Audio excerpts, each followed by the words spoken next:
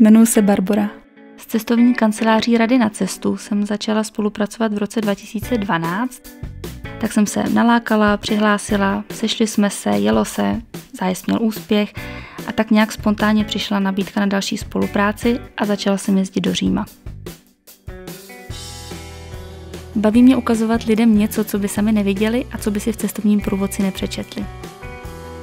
Ukázat lidem místní památky, vysvětlit souvislosti, pomoci jim nahlédnout do toho, jaké jsou v dané zemi zvyklosti, jak se tam žije, jaký je charakter místních lidí, prostě ukázat jim i něco, co na první pohled není viditelné.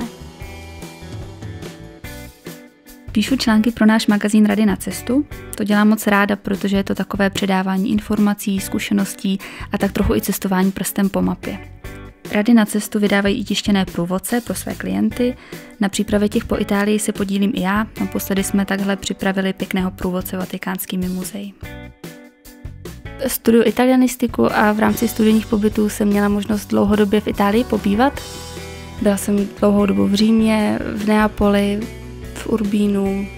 Tím jsem mohla načerpat tu kulturu dané země, zažít, aby se mi dostalo pod kůži to, jak tam lidé žijí. Baví mě si o tom potom s lidmi na zájezdech povyprávět, klidně u kávy, u večeře, tak to je takové velmi příjemné.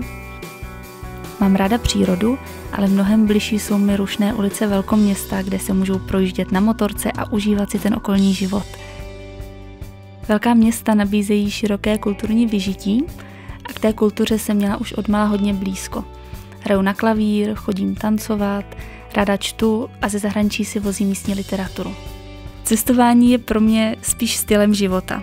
Pokud zrovna nejsem na zájezdu, tak sama cestuji, objevuji nové poklady, no a nebo dělám něco, co většinou nějak souvisí s cestováním. Nejvíc zájezdů provázím v Itálii, ale mám i jiná oblíbená místa. Třeba Budapešť. V zimě se tam konají vánoční trhy, má unikátní atmosféru, no a místní lázně jsou úžasným místem pro trávení volného času po celý rok. V radách na cestu se mi líbí celkové pojetí zájezdů, přístup ke klientům a i k nám jako k průvodcům.